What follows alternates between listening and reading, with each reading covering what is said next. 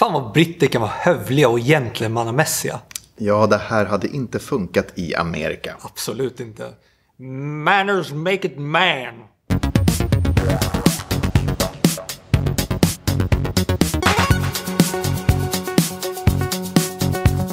The King's Man är regisserad av Matthew Vaughn. I huvudrollen så ser vi Ralph Fiennes. Här får vi följa hur den superhemliga underrättelsetjänsten startar i början på 1900-talet. När Kingsman The Secret Service kom ut för några år sedan så måste jag erkänna att jag älskade den filmen. Jag tyckte den var skitcool. Det enda som var negativt med det, var hur den slutade med den svenska prinsessan. Annars superbra. Det var för mig en film som jag blev rekommenderad. Jag såg den och tyckte om delar av den. Men i stort sett så var det för mig lite som en så här... Den bara, nej. Det kan ju vara min förkärlek till Bond-filmerna som Mm. gör att jag älskar den så mycket. Jag tyckte inte tvåan var alls lika bra och Matthew Vaughn har ju regisserat ettan, tvåan och nu trean. Och han har även regisserat First Class, X-Men-filmen som jag tycker om väldigt mycket. Jag minns när jag såg den här trailern för tre år sedan. Den skulle kommit ut 2019. Den är jätteförsenad den här filmen. Den spelas bara på biograferna under en kort period för den finns redan ute på Disney Plus som streaming. Mm. Orlando Oxford är en kille som har varit med om krig. Han är rätt kunnig när det gäller vapen och hur man ska bete sig i strid. Han har en son som heter Konrad och de här två får vara med om någonting hemskt när Konrad är liten. Vilket gör att Orlando, han bara säger så här, jag kommer vara pacifist från och med nu och min son kommer aldrig få bege sig ut i krig. Men det blir ju krig i världen och Konrad säger jag måste stå upp för mitt land och jag måste göra det här. Och han säger nej, nej, jag bara det får du absolut inte göra. Jo, men jag måste. Nej, nej, nej jag har sagt nej alltså.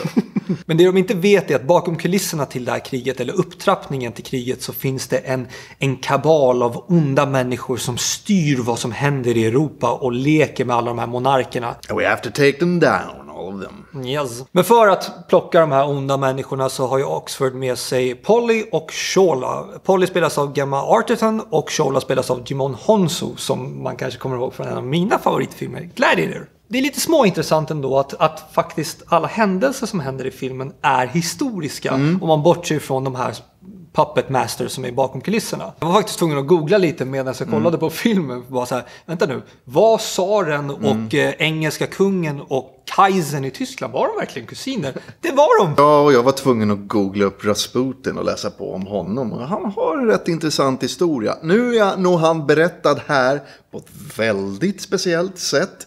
Men ändå, eh, han var en intressant typ. Rasputin spelas här av Risey fans. Ärligt talat, när jag såg Rasputin första gången så trodde jag att det var Peter Stormare. För att Ja. masken liknar honom skitmycket.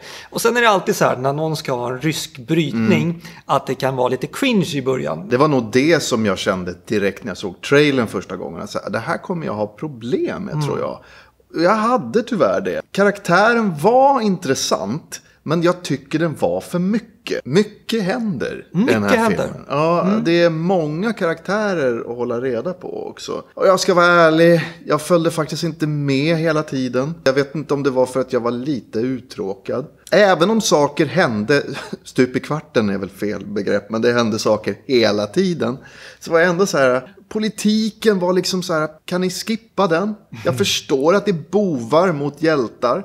Det räcker för mig när det kommer till sån här film. Filmen är alldeles för lång. Den är två timmar och 15 minuter. Och jag måste erkänna att jag såg den här i omgångar. Och jag vet inte om det kanske gjorde filmen lite enklare att se klart. För jag tycker filmen innehåller intressanta action set pieces. Det finns actionscener här som är rätt coola. Det är mycket datoranimation. Men de använder på ett intressant sätt med kameran, med inzoomningar genom landskap och liknande saker. Den är inramad i en historisk atmosfär. Så att kostym har ju gjort sitt jobb, om man säger så här. Rent visuellt är den faktiskt väldigt intressant att titta på. Scenograferna har, liksom, har haft väldigt kul när de har gjort det här. Man kan inte heller klanka ner på skådespelarna. Det här är bra skådespelare. Man får till och med en liten smakbit av Charles Dance som man kanske känner igen från Game of Thrones. Jag tycker om Ralph Fiennes. Alltså det är ju, det är ju Voldemort. Men det var vissa scener här som jag liksom inte köpte för han var så jävla over the top. Men på fel ställen. Och jag vet inte om det beror på Fiennes eller på regin. Eller om de bara, äh, det här är en over the top film. Låt han spela över. Och sen då har vi ju då eh, Vladimir Putin, hade jag lust att säga. Inte Vladimir. Nej. Eh, och sen hade vi då Rasputin. Och där kan vi inte snacka om annat än over the top egentligen. Men det är menat att vara over the top. Så det kan jag egentligen inte klaga på. Det var mycket i den karaktären som var för mycket ändå. Och det är ju en del av den här franchisen. Mm, jo, att jo. det ska vara over the top. Nu var den här filmen mestadels seriös om man jämför med de två tidigare Mm. filmerna. Så att fansen av franchisen kanske blir lite besvikna här. Att det inte riktigt var det de hade förväntat sig. Jag tycker ändå filmen är helt okej, den är godkänd. Jag tycker den är lite rörig och lite för lång. Men den är intressant att titta på rent visuellt. Jag tror jag gillade filmen lite mer än vad du gjorde. Jag gillar den här typen av setting, atmosfär, miljö, historia och, och agenter. Det är kul för mig. Men som sagt, jag tycker att den var lite för lång. Det intressanta här i alla fall att de har rätt mycket att bygga på om de skulle vilja göra sequels. Nu gick det inte så jättebra för den här filmen i box office. Kanske går bättre på streamingen, vem vet? Men innan vi väntar på sequeln så får ni väldigt gärna trycka på prenumerera på vår kanal. Och tack för att ni tittade. Vi ser fram emot att snacka mer film med er framöver. Yeah.